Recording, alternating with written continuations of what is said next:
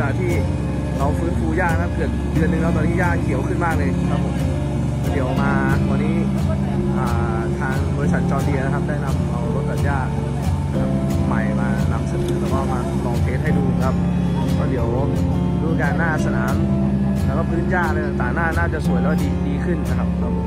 ก็ดูโดยทั่วไปตอนนี้หญ้าเขียวมาครับได้ทั้งฝนได้ทั้งปุ๋ย แล้วก็ได้หยุดพักสนามด้วยนะครับประมาณเกือบอ่า ประมาณสามอาทิตย์แล้วครับตอนนี้ก็ดีมากเกือบเป็นเดือนแล้วครับตอนนี้ก็หญ้าเขียวดีมากครับแล้วก็อีกอย่างหนึ่งก็คือด้านหลังนู้นนะครับมันสองวันที่ผ่านมานะครับก็มีเตรียมสนามซ้อมแบบชุดใหญ่ครับก็เป็นเป็นการปลูกหญ้าครับแล้วก็ตอนนี้คนงานเขากำลังช่วยกันจัดการดูแลอยู่ครับในด้านหลังซึ่งจะเป็นสนามซ้อมของชุดใหญ่ซึ่งปรับปรุงแล้วก็ทำใหม่ครับอยู่ด้านหลังครับผมก็เดี๋ยวมาติดตามความเคลื่อนไหวในระหว่างที่เราพักเบรกแต่ก็ยังต้องทำงาน ต้องต้องทำงานต่อแล้วก็เตรียมงานต่อครับผมก็เดี๋ยวรอติดตามว่าสนามเราจะมีอะไรที่ต้องปรับปรุงเพิ่มเติมบ้าง แล้วก็จะมีอะไรที่ทำเพิ่มเติมบ้างเดี๋ยวเราจะ